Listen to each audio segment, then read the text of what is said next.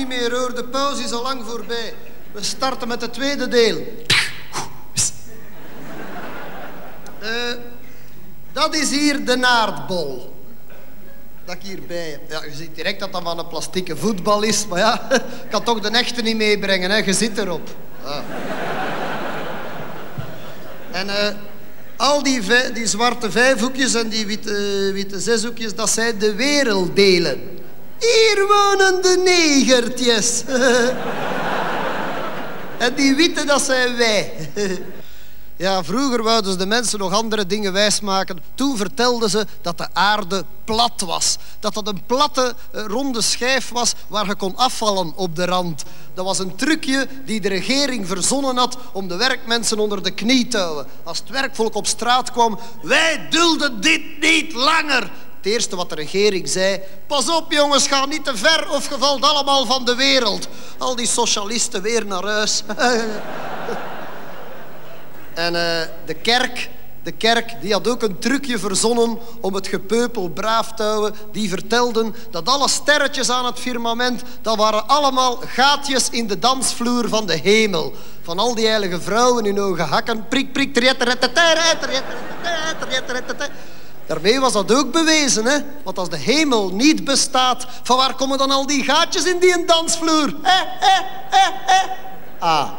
En... eh, toen kwam er een geleerde en die zei... Allee, dat kan toch niet dat de aarde plat is? De zon is rond, de maan is rond, maar mijn vrouw haar twee... eh, Ze zijn, zijn rond. Dus de aarde zal ook wel rond zijn. En die geleerde had op de aardbol een kruisje gezet. Die is beginnen lopen, lopen. En langs de andere kant van die bol weer aan dat kruisje uitgekomen. Trouw, trouwens, kijk, staat er hier nog op, zie. Hier. Je ziet dat ik niet lieg, hè. Hier, zie. Die geleerde met veel kabaal de straat op. Ik heb het bewijs dat de wereld niet plat is, maar rond. De wereld is rond. En de kerk razend. God lasteraar. Leugenaar, terrorist, blasfemist, accordeonist. Hier zie, de brandstapel op. Het zal u leren durven zeggen dat de wereld rond is. Bzz, flakker, flakker, knisper, knisper, knetter, pruttel, pruttel. Als die geleerde helemaal opgestoofd was, was de aardbol toch rond. En eh, dan zal ik hier nu eventjes een demonstructie geven op grote schaal om te bewijzen hoe rond dat de wereld is. Ik zet dus hier een kruisje.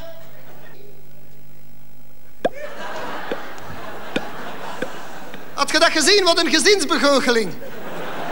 Die, die een bal is 40.000 kilometer rond de aardbol gevlogen. En iedereen denkt, ja, dat is simpel, die een bal vliegt in een cirkeltje. Maar dat is niet simpel. Ik zal dat eens uitleggen hoe dat, dat in elkaar zit. Ik gooi dus die een bal in die richting. Aan de snelheid van het licht komt die een bal in een dampkring terecht. En vandaar met de middelpunt slingerende waterkracht van de aardbol. En met de vervuiling van de CO2-uitlaatgassen nu dat de ozonlaag aangetast is. Met gevolg dat die alsmaar eiler wordt. Zodoende dat die een bal minder weerstand krijgt in zijn orbit rond de aarde. En volgens de relativiteitstheorie van Einstein, als je aan de snelheid van het licht rond dat stoeltje loopt, trapt je van achter op je eigen hielen. En daarmee... Ja, wilt je zwijgen als ik iets aan het uitleggen ben?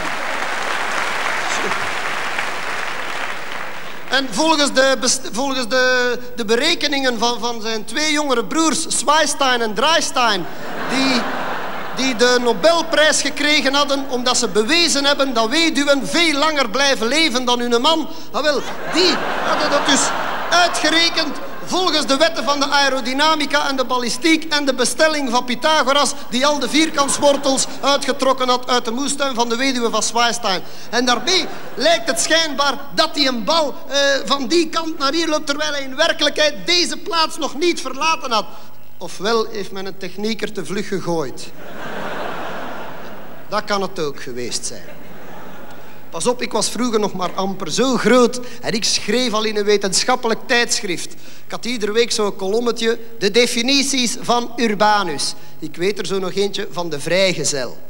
Een vrijgezel kan 's morgens langs twee kanten uit zijn bed stappen, behalve als zijn bed tegen de muur staat.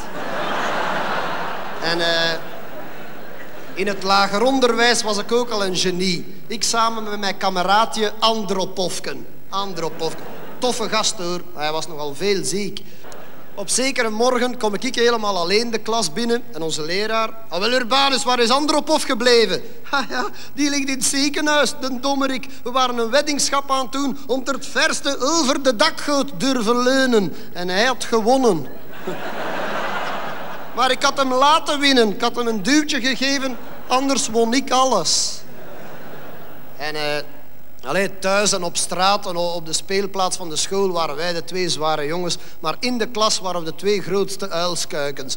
Maar ik vond dat niet erg, want ik had als kind reeds begrepen hoe corrupt dat de maatschappij in elkaar zat. Je gaat dat zien. Het zijn niet de brave jongetjes die altijd gedwee ja knikken en hun best doen en goed leren, die later de grote bonzen worden. Nee, nee, het zijn meestal die vuile smeerlapjes die die brave kinderen hun tanden uit hun kop en hun brillen zijn meestal die rotzakken die later, de, de, de zware jongens, dat zijn nu allemaal bazen van multinationals, bankdirecteurs, ministers, de paus, ikke.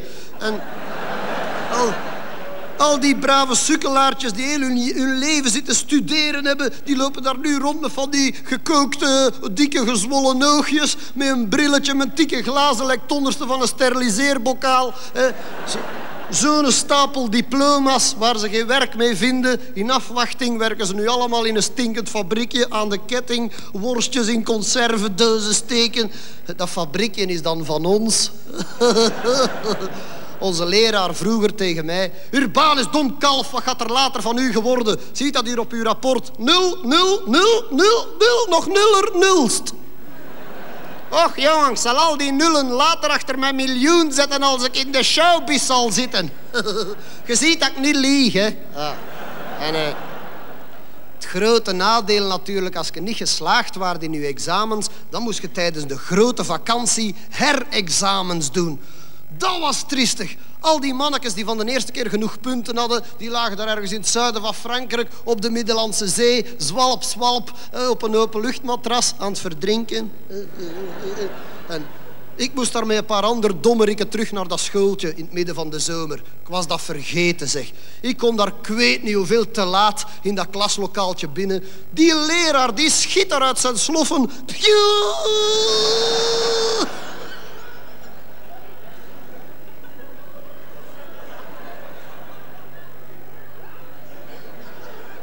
Tonk. Ja, wij hadden een heel hoge klas. Zeg, Urbanus, jong, weet je wel om welk uur dat wij hier beginnen? Hoe kan ik dat weten? Je bent hier altijd al bezig als ik binnenkom. Allee, zet u daar, domme naap. We waren aan het rekenen. 1 plus 1. 1 plus 1. 2. Ah, zie je dat hij het weet? Hier als beloning twee stukken chocolade en zwijg nu. Ja, hé, meester, had ik dat geweten, dan had ik 897 gezegd. Dan net fuck, sit, hell ant devil. Maar wat ik, wel, wat ik wel heel plezant vond, dat was, dat was aardrijkskunde. Wij hadden in ons klas een hele grote aardbol. Zo'n grote blauwe metalen bol. En eh, nog groter dan de echte, had ons iemand gezegd. En wij hadden die. En... Eh, Allee, wij allemaal rond die aardbol, hè, duwen en trekken om vooraan te staan. Onze leraar. Mannekes, are jullie klaar? Eerste vraag. Waar ligt Amerika? Amerika. Amerika. Amerika. Amerika. Dat begon altijd maar rapper te draaien. Amerika, Amerika. Konden wij dan niet meer lezen, hè? dat draaide veel te rap. Amerika, plotseling... Ah! Stak er een kleine zijn vingertje tussen Venezuela en die gebogen houten lat gepletterd. Ah! Maar wij verder draaien. Examen is examen. Hè. En die kleine zijn vingertje helemaal uitgerokken. Plots had ik gezien waar Amerika lag. Hier, alt jongens, houd hem tegen. Hier. Goed, Urbanus, hoe heb je dat gevonden? Ik had geluk, het lag nog op dezelfde plaats als het jaar ervoor. Allee. Volgende vraag. Ondertussen die kleine zijn verpletterde vinger weer helemaal aan het afrollen. Ah! Ah! 26 meter vinger. Ah! Ah! Volgende vraag. Wie heeft Amerika ontdekt? Al die kleine mannen. Urbanus, Urbanus, Urbanus, Urbanus. Jere. Grote overschrijving. Eh, onderscheiding bedoel ik. En eh, die herexamens waren daar veel vlugger afgelopen dan verwacht. Het was nog maar één uur en wij waren al klaar. Oh, maar we moesten nog tot vijf uur in die klas blijven zitten, want die leraar zijn een trein kwam pas om kwart na vijf. Wij zaten ons daar te vervelen in dat sniekheet klaslokaaltje. Plots komt meneer Pastoor daar binnen gewandeld. Dag mannetjes. Ach, meneer Pastoor. Gaat dat hier een beetje vooruit met die herexamens? Maar meneer Pastoor, wij zijn al lang klaar en wij moeten hier blijven wachten en wij vervelen ons hier. Ah, dan zal ik jullie nog eens vertellen uit de Bijbel. Laten we ons dan maar vervelen hoor, meneer Pastoor. Pff, niks te doen. Hij ging ons vertellen over de schepping van de wereld. Mannekes, als er iets is dat niet klopt, of dat je niet gelooft, of dat je niet begrijpt, moet je het mij onmiddellijk vragen. Ik kan het weten, ik was er zelf bij. Ja, hij wist dat wij lang na hem geboren waren, dat wij dat niet meer konden controleren. Hè. De slimmerik. Allee. De schepping van de wereld. In den beginne was er niets.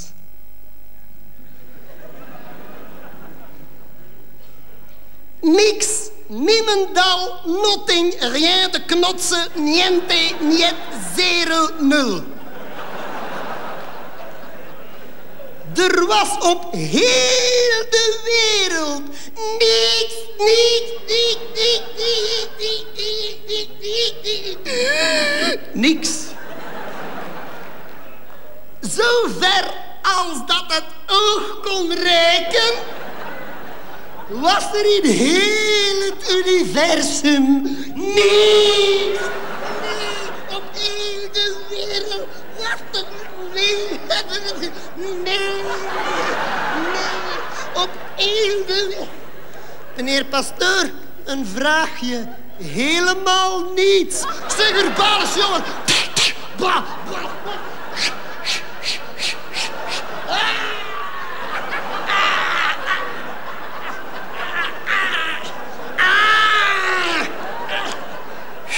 Heel mijn potloodpunt gebroken.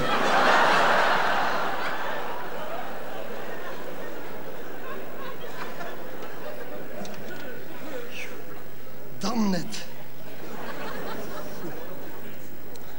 Ja, ik moest dan straf schrijven, omdat ik gevochten had met de pastoor. Meester, dat is niet rechtvaardig. Hij had mij aangevallen. Ik was in staat van wettige zelfbevrediging. Toen kreeg ik nog meer straf. Moest ik een opstelletje schrijven over de schepping van de aardbol. Maar ik was die twee hoofdrolspelers hun naam vergeten. Want toen dat we die les gekregen hadden, was ik ziek geweest. Ik had een hartaanval gekregen in de kleuterschool. Adam, ja, die kende ik nog. Dat was niet moeilijk. Die had later nog meegespeeld in dat tv-feuilleton Bonanza. Maar zijn vrouw, die was ik vergeten. Ik heb daar toen maar twee andere van gemaakt. Bij mij heette die Fonsken en Fronsken. Dat is hetzelfde, hè. Fonsken en Fronsken.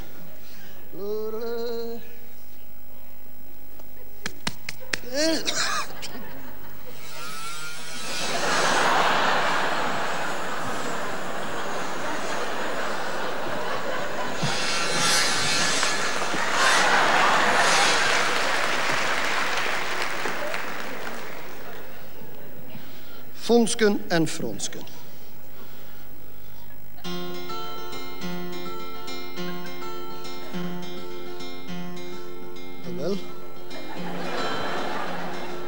Licht gaat hieruit.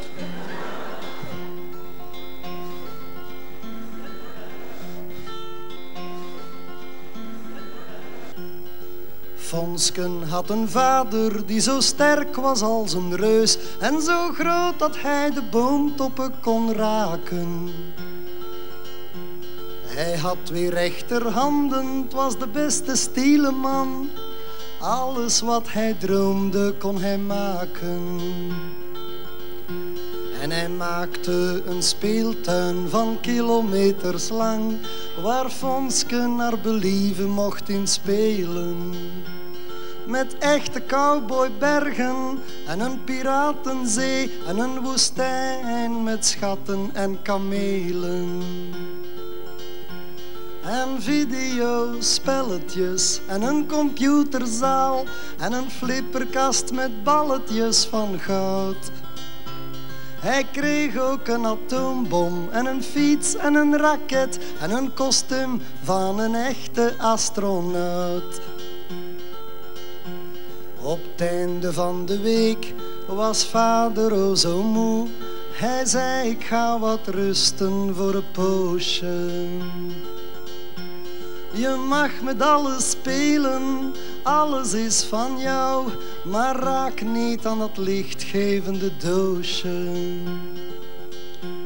Toen vader terugkwam, opgewekt en fris, zat Fonske in zijn Cadillac te treuren. Vader, ik verveel me, ik voel me zo alleen. Kan je nog eens iets laten gebeuren? En Fonske viel in slaap en toen hij wakker werd, zat er daar een meisje in zijn raampje. Ze was mooier dan een flipperkast en zachter dan het gras. Ze kon lachen en Fronske was haar naampje. Fonske en Fronske keken naar het speelgoedland vanuit het kasteel van Doornroosje. We mogen alles hebben, alles is van ons, behalve dat lichtgevende doosje. De stofzuiger die hoorde dit en hij kroop naderbij. Je mag niet in het doosje, maar je weet toch niet waarom. Open jullie oortjes, luister eens naar mij. Jullie pa wordt alsmaar slimmer en jullie blijven dom.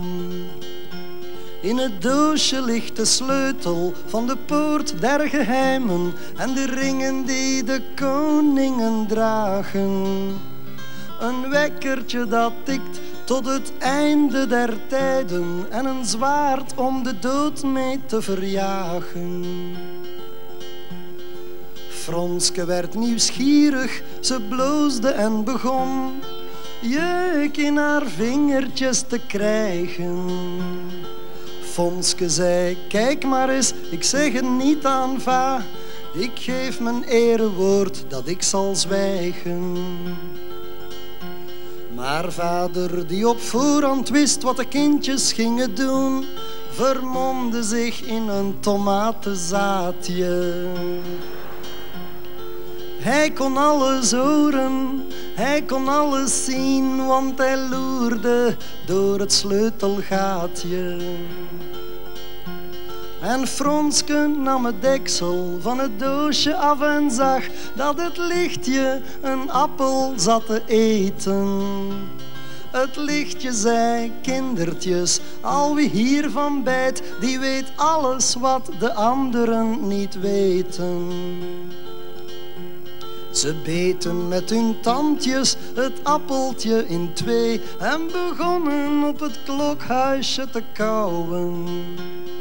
Fonske riep verwonderd, ik voel me al zo slim, ik zou mezelf een speeltuin kunnen bouwen. Maar vader stormde binnen, er kwam donder uit zijn stem en bliksems uit zijn ellebogen. De kindjes zakten angstig tot hun knietjes in de grond en voor het eerst kwam er regen uit hun ogen. Vader sloot de kleintjes in een diepe kelder op, tussen de spoken en de spinnen. En nooit of te nimmer mochten ze eruit, en vader kwam ook nooit of nimmer binnen. Dit stond in het sprookjesboek van de tovenaar, maar de blaadjes die zijn eruit gevlogen. Hij maakte ook de sterren en de aarde en de maan, maar ik weet niet of dat waar is of gelogen.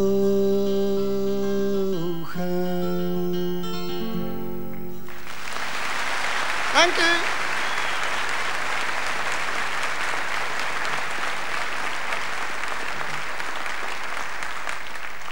Ja, eh, de laatste tijd is er over de wereld een vlaag gevlogen van goedertierentijd, menslievendheid, benefieten, geldinzamelingen. Allemaal ten voordele van de derde kindjes van de wereld.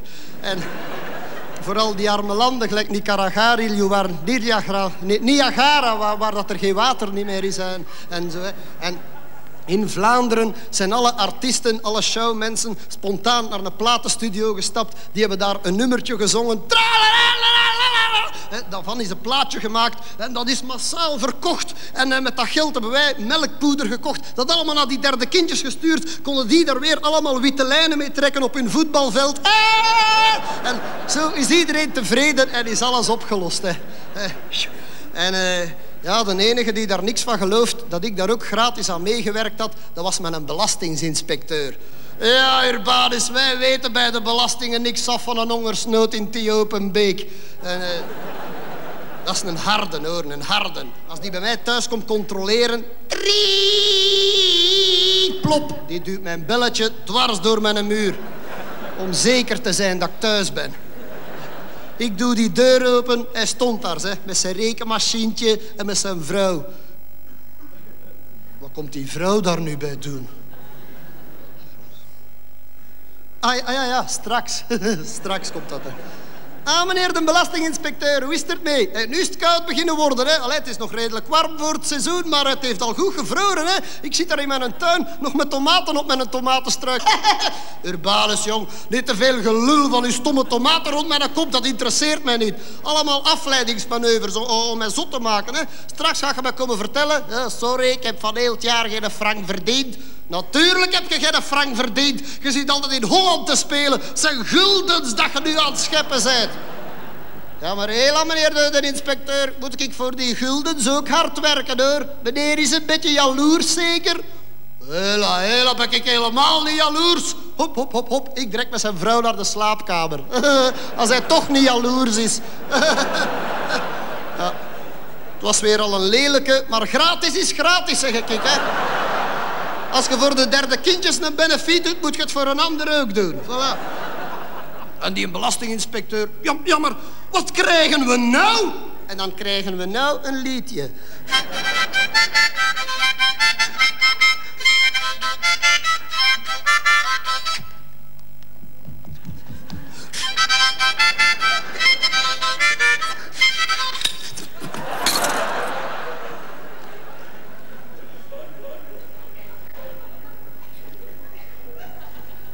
Dat was dan het vliegende mondharmonicaatje. Dat geluidje dat doet mij iedere keer denken aan mijn eerste huwelijksnacht. Allee, aan mijn 26e, want mijn eerste ging dan nog zo. nou, dat vinden ze dan wel plezant. Dat vinden ze dan wel plezant. Wat ik wou zeggen, ik ben onlangs nog eens naar dat kleuterschooltje geweest waar ik vroeger grootgebracht geweest ben geworden, hè, eh, gedaan. En uh, wel, al die kleutertjes die kregen daar nu allemaal reeds seksuele voorlichting. Toen dat ik dan naar school ging, ik had nog niet eens een achterlicht op mijn fiets, wat zou ik al voorlichting gekregen hebben? Wij moesten, wij moesten daar alles zelf maar raden. Wij moesten dat allemaal zelf raden. Ik was zeven jaar alvorens ik wist hoe dat, dat in elkaar zat met de liefde tussen de man en de vrouw. Zeven jaar van mijn leven verspild. Ja, en ik had dan nog geluk, want we waren thuis met vier. Ah ja, ik had drie zussen en ik was mijn broer. En, uh, met mijn drie zussen met mijn drie zussen kon ik thuis zelf al een beetje beginnen te experimenteren. Hè. Kropen wij regelmatig eens de zolder op, allerlei plezante spelletjes. Ah ja, want ik had van Sinterklaas zo'n helmpje gekregen met een lampje op vooraan. En daarmee kon ik alleen maar speleologietje of gynaecologietje spelen. En wij altijd op die zolder, hè. Ah, laat me los! vuilaard, dat wil ik niet. Blijf van mij. Alleen toch wel. En zo, hè. En, eh, op zekere dag kwam ons moeder die zoldertrap opgekropen. Die duwt dat dekseltje open. Wat zijn jullie hier aan het uitspoken op die donkere zolder? Maar wij houden hier een orgie. Ah, ik dacht dat je hier aan het roken waart.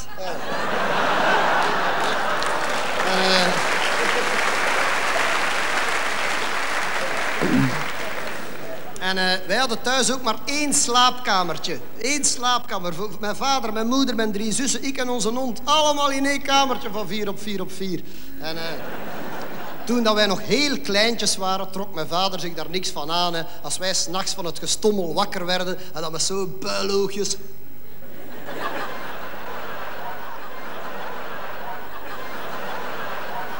bleven verder slapen. Hè. Maar eh, toen dat we iets groter geworden waren, begonnen ze dat toch stilaan vervelend te vinden. Wanneer ik iedere keer met mijn drie zussen heel de nacht de match bleef volgen. Dan had mijn vader gewonnen, dan had mijn moeder weer gewonnen. Maar mijn vader gaf de moed niet op, maar mijn moeder met de laatste kracht in spanning. Maar daar kwamen wij allemaal met een lange sjaal van de voetbal en een trompetje. Wij moesten op behangpapier noteren wie dat er meeste punten had om te zien wie dat er naar Mexico mocht gaan. En eh, ja, dat was kunstworstelen dat ze speelden. Hè. Kindertjes kopen was het niet hoor. Nee, nee, nee, nee. De kindertjes die worden door de ooievaar gebracht. Echt waar, want ik heb er vroeger een zien vliegen met deze ogen. Ah, wel- ah, wel ja, ik bedoel, die ooievaar vloog met zijn eigen ogen, hoor. En eh, die had zo'n lange bek en in zijn bek een grote pisdoek. En ja, er zat er eentje in. Er zat er eentje in. Zo'n oud manneke van 80 jaar. Aan het zagen tegen die ooievaar. Kom jongen, geef toe dat je je weg kwijt bent. Die hing al 80 jaar in datzelfde pisdoekje, zeg. Kwestie van absorptievermogen.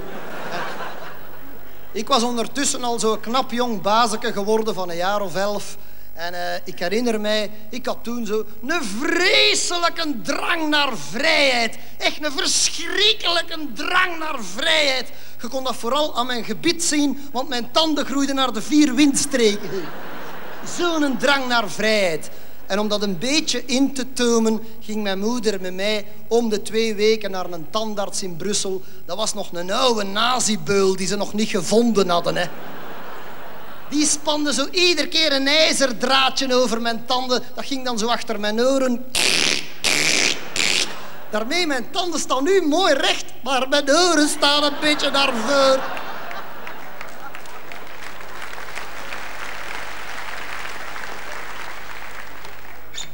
Ah, dacht dat ik weer bronchitis kreeg, maar het was mijn kapodastertje dat floot. Allee.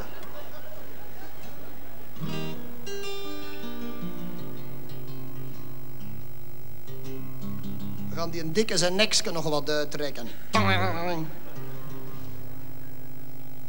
Oké, ja, die bovenste snaren, dat kunnen jullie niet horen. Daarvoor moet je een beetje paranormaal begaafd zijn, zoals ik. Dan ga ik nu een nummertje brengen en dat gaat dus over mijn allereerste seksuele geslachtsgemeenschapsbetrekkingen tijdens mijn publiciteitsjaren.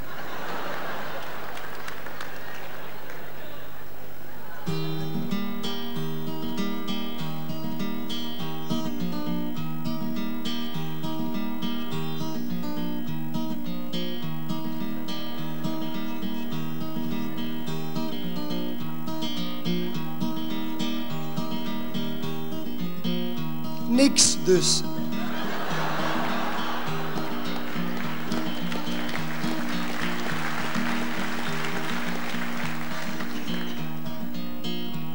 Terwijl mijn jongste zuster al met nonkel Felix vreet, was ik als mansmens nog helemaal niet gereed.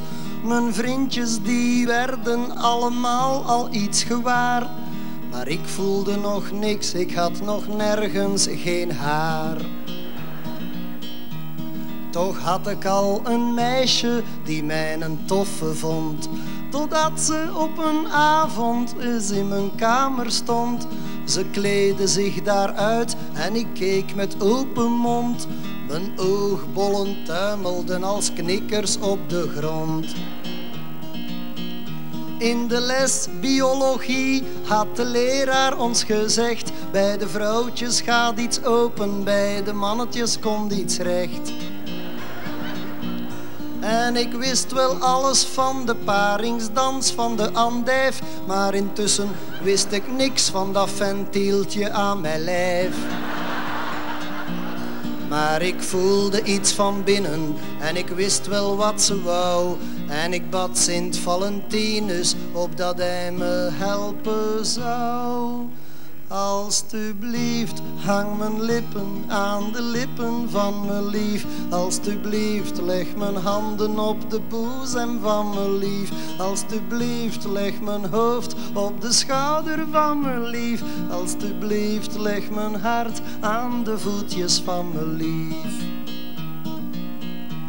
Ze begon me daar ineens als een bezetene te zoenen. Mijn veters en mijn steunzolen kropen uit mijn schoenen. Ze stond daar zo bloot en zo sierlijk als een zwaan. En ik, ik stond daar ook met twintig onderbroeken aan. Niet dat ik zo verlegen was, maar ik was wel erg beschaamd. Ik bedekte gauw het sleutelgat en het vensterraam. Zij dook weer in mijn bed als een keeper is een goal. En ik begon haar te vertellen van onze schoolreis naar Tirol. Ze plooide zich in honderden verleidelijke standjes, maar ik toonde haar mijn goocheldoos en mijn sigarenbandjes. Toen werd ze vreselijk kwaad, had genoeg van mij getover. Ik zei, wacht, ik ben paraat, maar mijn stem sloeg achterover. Toen ik eindelijk klaar was voor de grote tijgersprong, zat zij al op de trein die vertrok in het station. Alsjeblieft, hang mijn lippen aan de lippen van mijn lief. Alsjeblieft, leg mijn handen op de boezem van mijn lief. Alsjeblieft, leg mijn hoofd op de schouder van mijn lief. Alsjeblieft, leg mijn hart aan de voetjes van mijn lief.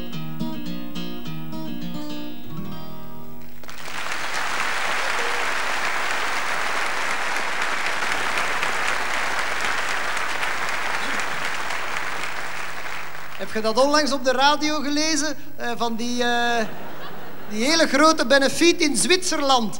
Dat was een benefiet voor de vrede. In Genève hadden ze dat georganiseerd. Het Rode Kruis had dat op zich genomen. En uh, ze hadden als stunt alle Rode Kruisen van heel de wereld, al de Rode Kruistenten van heel de wereld bij elkaar gehaald en daar één grote bombastische Rode Kruistent van gemaakt. Ze hadden al die tenten aan elkaar genaaid. Dat was van buiten prachtig versierd met miljoenen rode kruisjes. Van binnen nog mooier met miljarden wapperende inlegkruisjes. Om toch ja, om een beetje een intieme sfeer te creëren in die bombastische tent. En uh, van ieder land moest er een belangrijke afgevaardigde gestuurd worden en voor België ik daar naartoe. En, ja, hey, moet ik met een boog nog eens gaan halen misschien? Kalm hè, kalm hè, pas op hè. En in die tent, dat was één grote cirkel, allemaal één tafeltje tegen het ander geschoven. En op ieder tafeltje stond er een naambordje met de naam van het aanwezige land. Ze waren daar allemaal, noem maar op, Denemarken, Noorwegen, Zweden, Finland, Scandinavië zelf, Rusland, China, Japan, Canada, Amerika, Brazilië, Tsjechoslowakije, Joegoslavo, Keien. Uh, Nederland, Duitsland, Engeland, België. België. Uh, Hottentottenland en zo. Ja, die kent je waarschijnlijk ook niet. Uh, de Hottentotten, dat is een stam die ze nog niet zo lang geleden ontdekt hebben in de broessen van Afrika. Dat zijn van die hele kleine negertjes. die, zijn, die, hebben, die hebben niks, die hebben alleen maar een bosje schaamhaar op hun hoofd. ja. Dat zijn hele lieve kleine mannetjes. En, die, en, uh, die hebben nog nooit gevochten, nooit oorlog gevoerd, nooit geen ruzie gemaakt. En die zijn ook bliksemsnel. Het is pas door de ontdekking van de laserstraal dat ze die hottentottekes kunnen vinden hebben. In die, eh, en dat zijn zo hele kleine mensjes, alleen maar een bosje schaamhaar op hun hoofd. Waarschijnlijk tijdens de schepping, alles wat op die hoogte passeerde, heeft alleen maar schaamhaar meegekregen. Hè. Eh,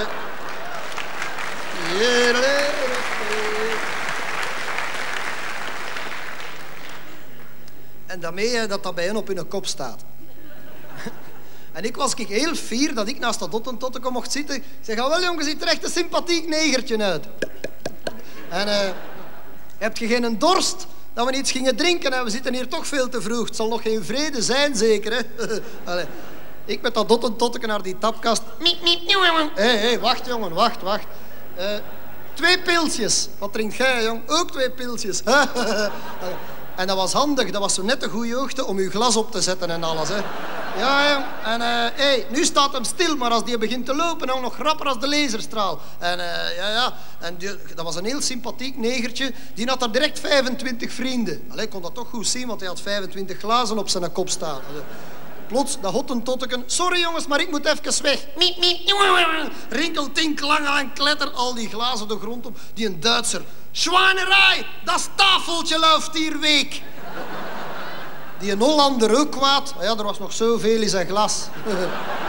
en uh, daarmee...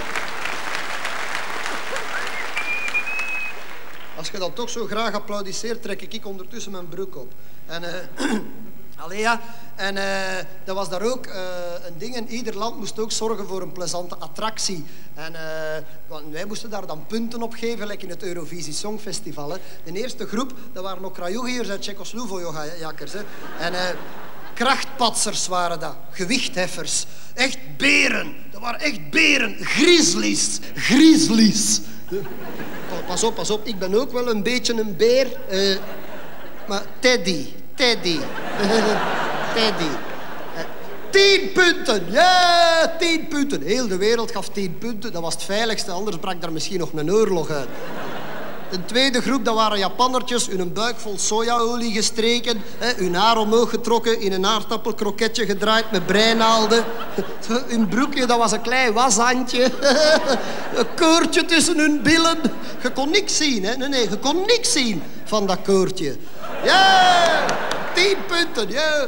De volgende groep, dat waren Turken. Die gingen zo een nummertje doen op een koortje met een fietsje met één wiel. Iedereen had dat al duizend keer gezien. Maar allee, tien punten. Maar de Grieken, nul punten. Ah, die Turken en die Grieken die waren direct op mekaars gezicht aan het kloppen. Zeg. Dat waren daar schermutselingen. Ondertussen hadden de Ieren gebruik gemaakt eh, van de... Van de uh, die hadden dus een tikkend kartonnen doosje onder de tafel van de Engelsmannen geschoven.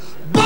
Ja, die vier tafelpoten stonden daar nog, maar die Engelsman en dat tafelblad plakte tegen dat zeil. Hilfe! Hilfe! Ja, van de slag dacht hij dat hij Duitser geworden was. Hè.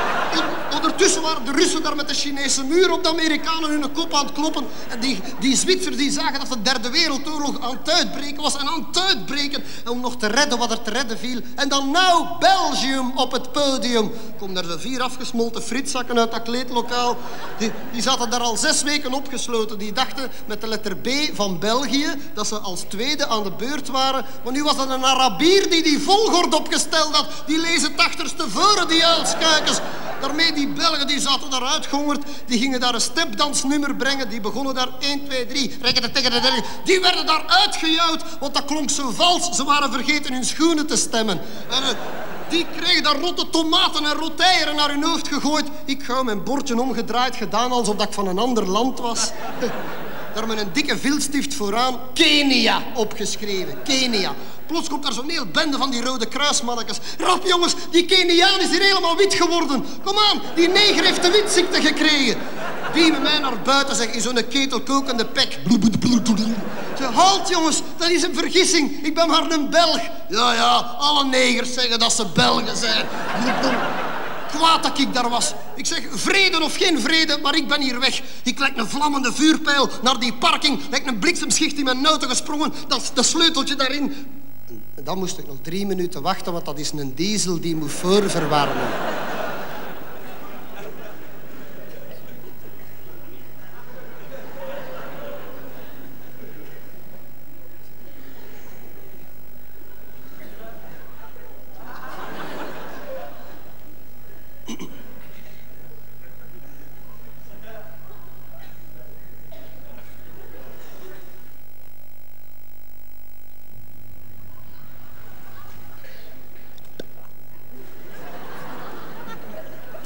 lekker een kanonkogel. Oei, oei. Ja, dat een totteke stak auto. Ik had ik dat niet gezien, hè. Ik had alleen maar een bosje schaamhaar zien bewegen. Wie stopt er nu voor een bosje schaamhaar op de weg? Niemand. Ik ook niet. Trouwens, in onze Belgische wegcode bestaat er geen enkel verkeersbord met een bosje schaamhaar in het midden. Wij zijn wettelijk niet verplicht om te stoppen. Maar al wel te plus. Dat is al niet te min, vond ik dat toch heel erg. Dat ik dat dotten overhoop gereden had. Ze hadden hem nog maar pas ontdekt in de broesen. Hij komt in de beschaving, lap, hij steekt onder mijn auto. En ik heb op die parking, speciaal voor dat hottentotteken, een hartverscheurend afscheidsliedje gecomponeerd, getiteld... Er botst een hottentot op onze auto, godomme. Ik heb dat nummertje speciaal gecomponeerd voor vleugelpiano. Eh, die vleugel, dat kan hier toch op op dat prutpodium niet, hè? Maar het is niet de eerste keer dat ik door het gewicht van de piano door de vloer zak, hoor. Uh, pas op, toevallig is dat afscheidsliedje voor dat Hottentotteken ook het afscheidsliedje voor Scheveningen. Ah ja, jammer. Eigen schuld, dikke bult. Je moest jullie zo hard maar niet geamuseerd hebben. Had je verveeld, waren we nu nog maar half weg geweest. Voilà moet hier maar zo plezant niet zijn. Dus uh, als laatste nummer ga ik dus mijn vleugelpiano halen. Wacht, eerst moet ik heel mijn decor uh, verversen. Nog niet weggaan, hè.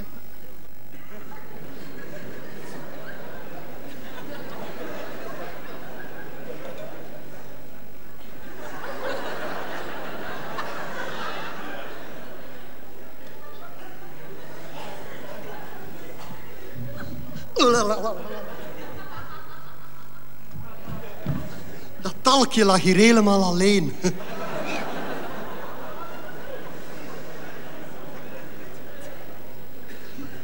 Uh, dat laatste nummer voor dat Hottentotteken is meteen ook het uh, eerste bisnummer. ja. Tegen het einde begin ik alles een beetje te concentreren. Hè. Dus ik ga nu mijn vleugelpiano halen. Als ik twee seconden geduld heb, ben ik in tien minuten terug.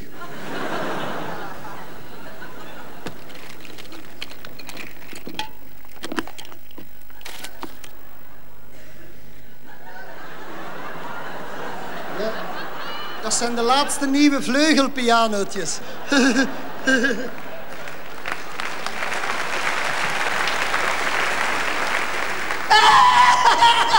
Oké, okay, staat elektriek op. Uh, play. Je moet dat op de play zetten en dan begint dat te spelen. Die Japannertjes toch. Uh, wacht. Ritme, rock, beat, swing, samba, disco. Ik kan dan niet wat rapper, jongen. We zetten de ruitenwissers op.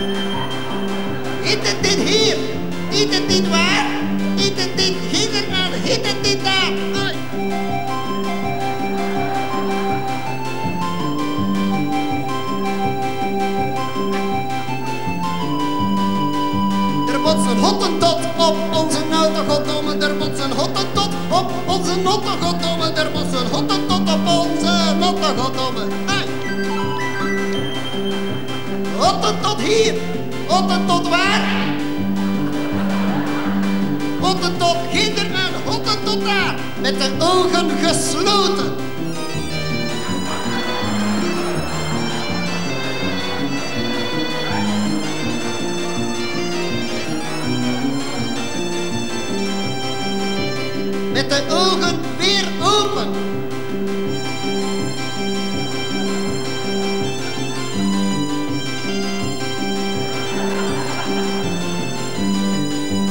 Otten tot hier, otten tot waar, otten tot ginder